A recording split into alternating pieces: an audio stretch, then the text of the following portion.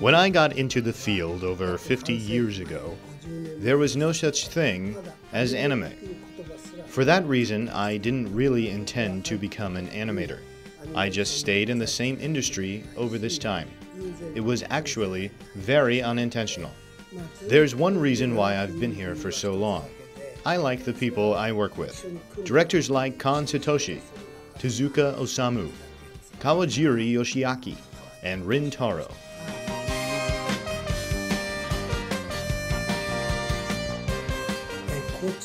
I would advise the fans to be patient, to challenge themselves, and to be as detail oriented as possible.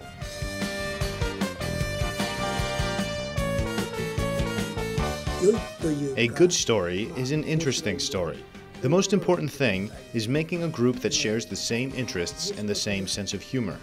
This is what I'm thinking about right now for my team.